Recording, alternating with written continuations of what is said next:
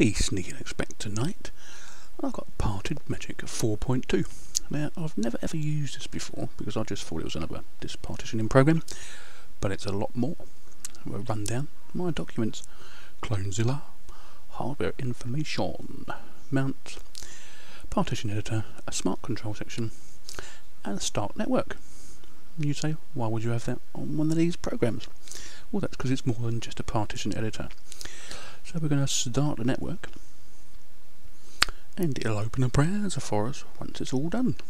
So there we go, it's connected to the network.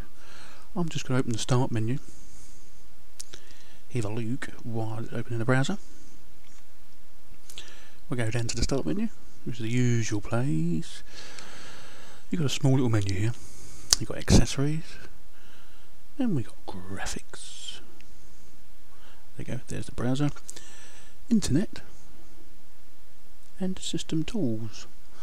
And there's plenty there in system tools. So it's ideal for fixing a dead system really. Lots to play with but we're going to come back to some of this a bit later. But first after I've scrolled up here we're going to have a play with Firefox 3.5 which is a bit snazzy to say the least. It's got a few more features than the current Firefox. I'm going to show you one so if we go up to Tools, and we're going to scroll down to Start Private Browsing. Now this basically means you can browse the web and it just won't save anything. So in reality you can actually still do that in Firefox, but this is just a one button thing to, to stop you having to uh, get rid of all your cache, browsing history, bookmarks, passwords, blah de blah de blah. I'll open more and this basically explains it to you so if you want to download it and have a look be my guest. Lovely. So anyway we'll go to parted magic page so I'm going to put it in Google. Make sure it's all working hunky-dory. And it is. It's nice and clear and it's nice and quick as well. Very surprising. I'm actually running from the live CD here so even better really. Right this actually tells you about parted magic and all the stuff it can do and what it's got in it and it's saved to quite a few different extensions there as you just see? But we're going to have a little play while we're here. Right firstly we'll go down to the partition editor.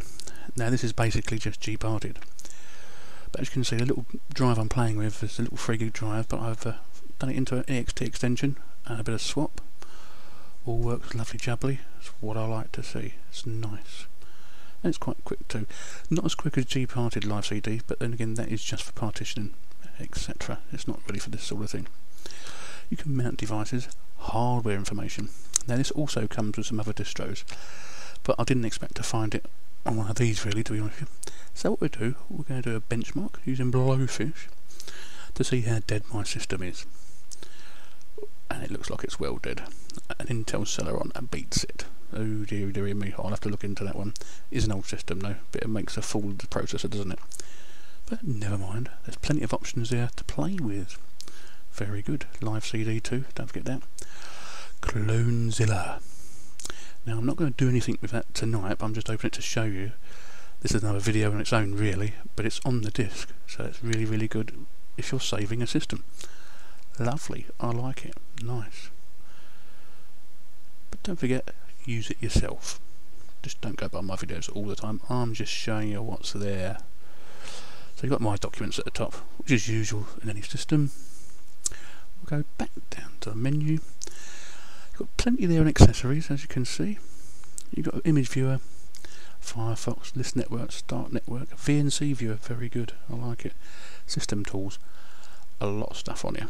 So apart from Clonezilla, you've got your erase disk, gparted, ISO master, removing hard disk drive, blimey, last, test disk, TrueCrypt. Now I'm just going to open this. I've used TrueCrypt before quite a while ago. And being on the disk it does help because if you've actually encrypted some of the drives on that disk and you want to get to them, this is the way to do it. Lovely. But this will have to be another video on its own as well because that'll be quite a long one I think to show you how that works. But I've opened it to show you that it's all there and all does work. That's nice. I like, I like, I like, you like. Very good indeed.